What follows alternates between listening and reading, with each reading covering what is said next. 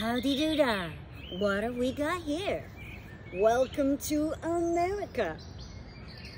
I'm just sitting here in this briar patch wishing you a fine day. And this briar patch, what you guys call brambles, is where my story comes from today. It's about someone who lives in this here briar patch. Do you know who it is? Well, I'm just gonna come up mighty close, just to show you a thing or two. Well, I'm gonna want you to put your hands up high.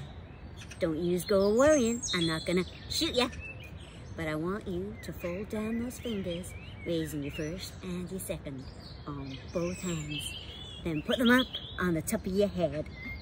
Turn them around mighty slow and give them a wriggle. Now you got yourself some rabbit ears.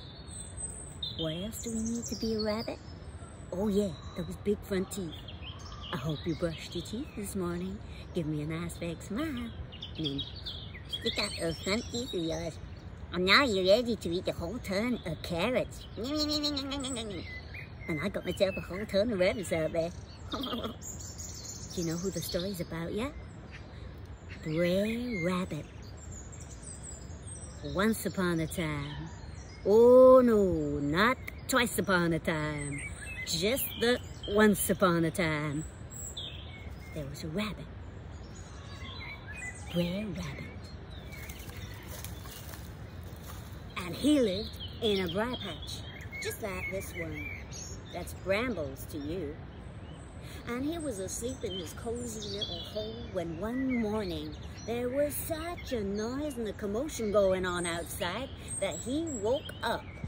He rubbed those rabbit eyes of his and peeked his head, wiggled those rabbit ears of his, and looked outside of his hole. And there was little Brer Squirrel running around crazy. Oh no, I don't know, no. What's going on, Squirrel? said Brer Rabbit. Have you heard the word? The word! Have you heard the word? The word have you heard?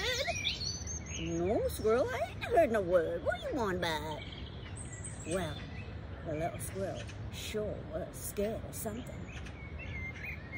So Brer Rabbit said, Bear, Brer Bear, what's this little squirrel going on about? Oh, it's not good. Have you heard the word? The word, have you heard? Look, I ain't heard no word at all. What you going on about?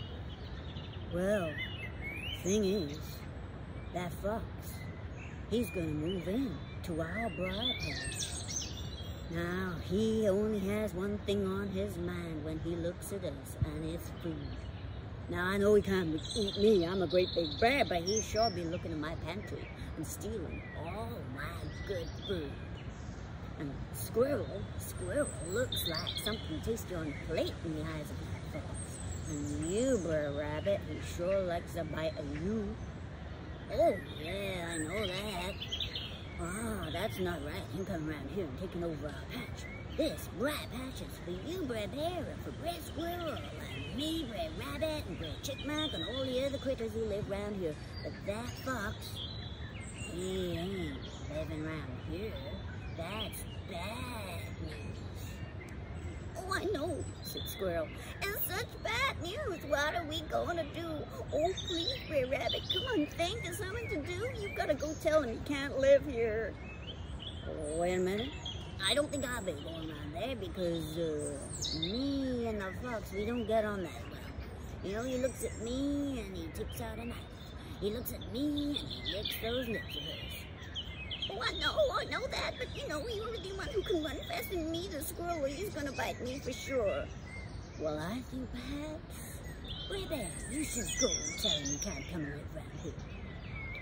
Oh no, I don't think I can be doing that because the minute I turn my back, he'd be in my pantry. You know that, Fox. You know what he's like. I don't think I should be open. No, no, this is a job for you, Oh, well, I don't think it's a job for me for real, but uh, why don't you two go together and help each other out?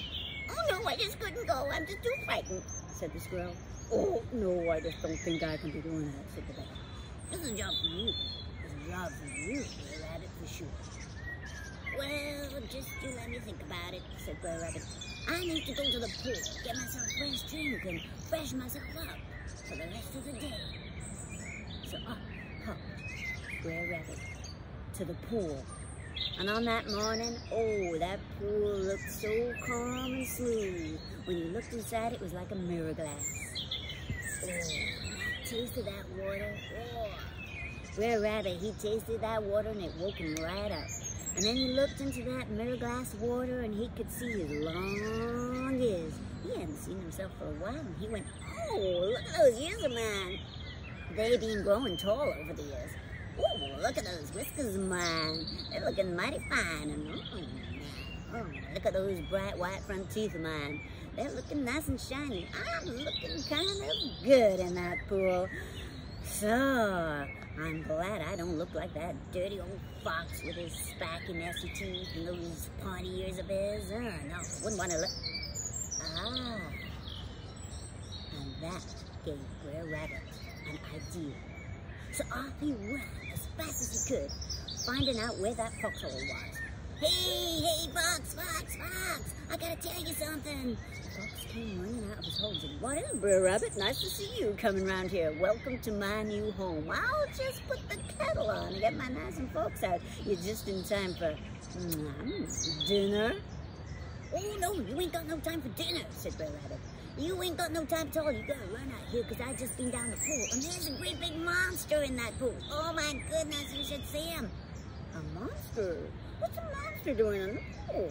Hmm. I don't think I want to see monsters, Oh no, you sure don't. You better run because he's coming around and he's gonna eat us all. Every one of us is gonna end inside his stomach. That's what's gonna happen. Oh, oh, I don't want that to happen, said the Fox. I better go take a look at this great big monster. What is it? Well, I don't know. It's got pointy ears and sharp teeth, and oh, it looks a right mess. I don't like it at all. Oh no, it's no good. Well, if you're a brave fox, you can go take a look at it, but I'm out of here. And off ran Brer Rabbit. Have you guessed it? Have you guessed it? The fox, he went down to that smooth, clear glass pool, and he hadn't seen himself in quite some time. He had no idea what his face was looking like.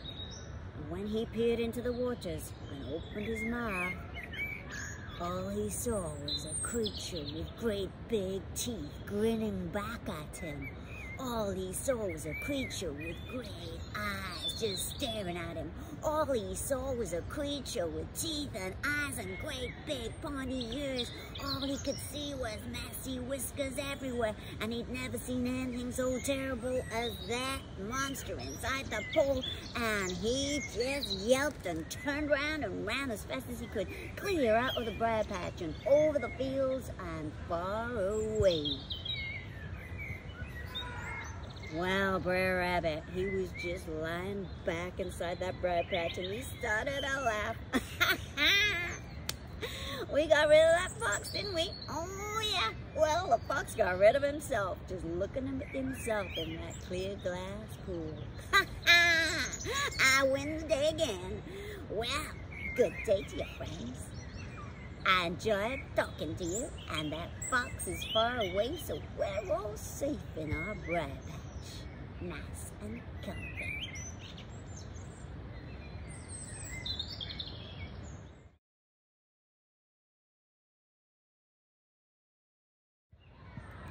So did Brer Rabbit remind you of someone? I know some of you have been to America, and some of you like those Disney theme parks. Well, let me ask you a question. What do you call a bunny who's got fleas? You know? Bugs Bunny, of course. And that's who Brer Rabbit might remind you of. That's all, folks.